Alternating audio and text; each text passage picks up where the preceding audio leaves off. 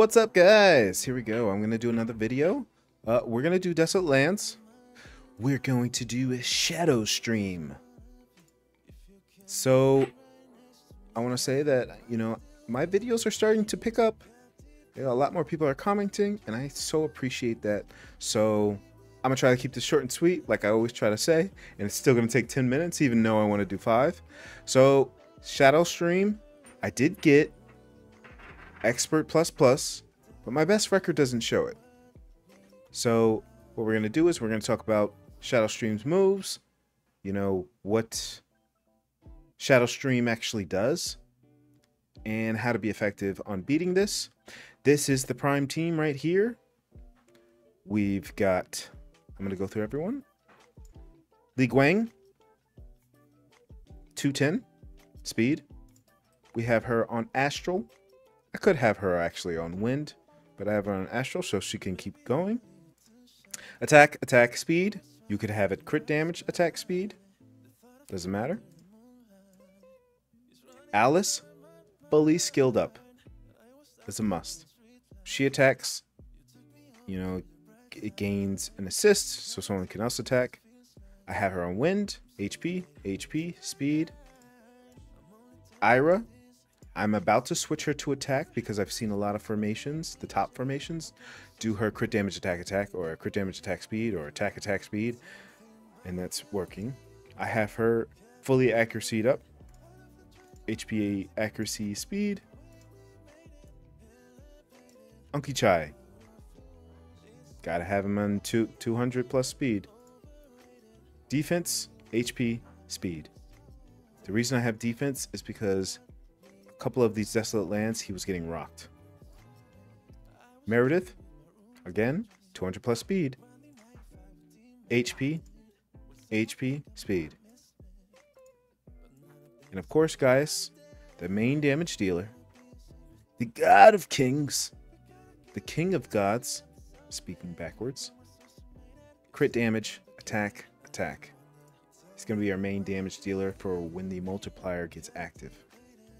Let's go into the moves. Info. These are some suggestions. These are things I wish I had. Unas. okay. Shadow Streams. Mm. Shadow Stream has unlimited HP. Players must survive enough turns to achieve victory, as in all Desolate Lands. Venom Sting attacks the player's front line first. The lower your Esper's defense, the higher the damage. The damage is shared among all targets. Players can place Espers with high defense on the front line to reduce damage taken.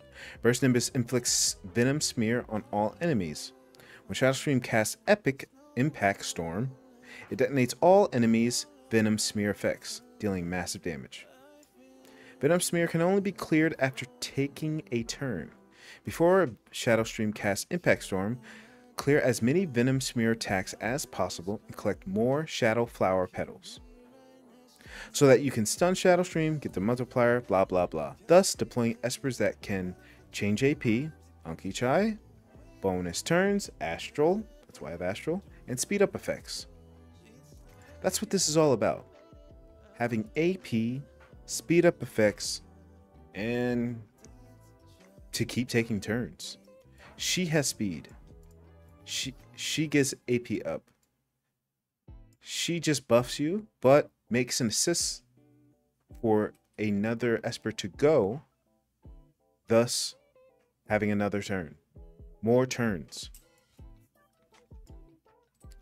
She gives AP up and reduces AP, but she can also do this. All ability cooldowns of an ally negative one.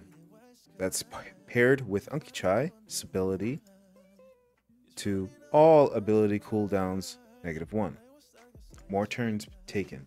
More chances for this AP up and her to go again and everyone to go again. So I'm going to do it once. Then I'm going to do a multi-battle. I'm going to do Blitz so you can see it in real time. And we're at 4 minutes and 54 seconds. We're doing great on keeping the 5 minute rule. This is good. I really wish it would show my expert plus plus, but you know, if you don't have a picture, it's not real. So hopefully right now it can hit expert plus and uh, it would make my video. If it doesn't, then that's fine. I'll do it on the blitz. Hopefully that goes through. We're gonna leave this on on auto. As you see, AP up. All of this doesn't matter. This is just like every other Desolate Lands. You're just attacking the boss until his moves goes up. So I'm pretty sure it's called Venom Sphere. Venom Sting. Attacks front line. Boom. Hits everybody. It's this. Fluttering pose. There we go. He's going to debuff the whole team. It's right around the point to be...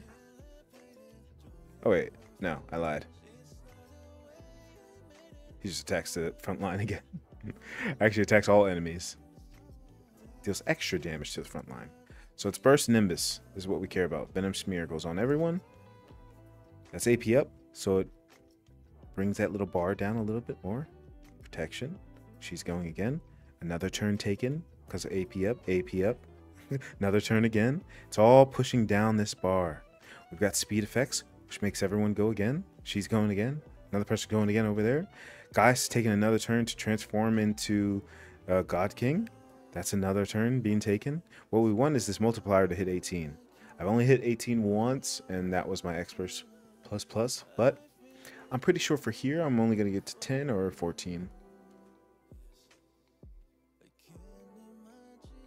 Nice. Getting these freaking petals. We're only at 8 right now. If we can make it to 10. Yes. This is all about cycling everyone's turn and having speed. AP up.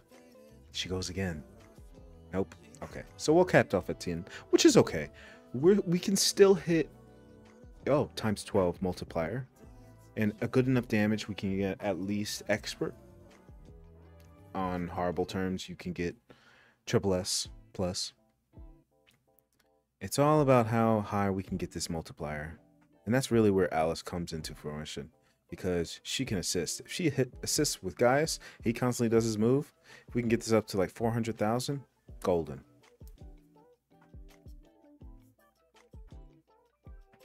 This attack, this team works for me. I've been tinkering with it every so often. There's a lot of other teams that actually work. You know, if you have Unas, you're getting you're getting immunity and AP up for everyone. Every time he attacks. Just freaking stupid. If you have him. Now, if I had him, I'd be so happy. So we're get, we're coming up to like almost 600,000. Nice, we got that multiplier. We got 7 million at the top. All we need to do is survive now.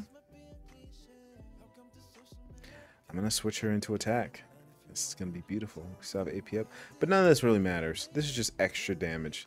Say if you if I was 9 million, 900, blah, blah, blah, this damage would even matter. But it doesn't once you pass the finished smear stage of getting the flower petals. Alright, everyone's going to survive, which is awesome. And we got expert. So, expert allows us to still get the gold, the legendary uh, boost stones and of course you have the event tokens. And you'll always if you can con consistently get expert you will always get epics. And and you know large percentage get some legendaries. If you look at the stats other than that that's my video. I'm gonna do a blitz so you guys can see. Hopefully i hit an expert plus plus. If not uh, i'll cry. Expert expert expert Expert Plus. If I hit 10 million, then you know I've got it. It's not going to give it to me for the video. Please. Alright guys, I hope this video helped you out. Um, of course, as always, check the strategy section. See what everyone else is using. Look, this person is going... Like, just put the front line of Gaius. Same team... Well, Unas. Wow, 300 speed. Sheesh. But as always, check your strategy section to see different formations that are out there around your skill level. If you're only hitting S, check your formation. See what other double S people are using or triple S. Uh, just get higher and higher, tailor your build. And as always, like, comment, subscribe. And I will see you guys next time. The next video, I'm going to try to do Shadow Gale, but that's my weakest one. So until I actually find a build that gets me close to 9 million, 9.8, 10 million, uh, you know, it's, it's stuck at 7. Until I can actually get it to close to 10 million, I wasn't planning on doing a video, but if you guys want me to, I will. Alright, have a good one.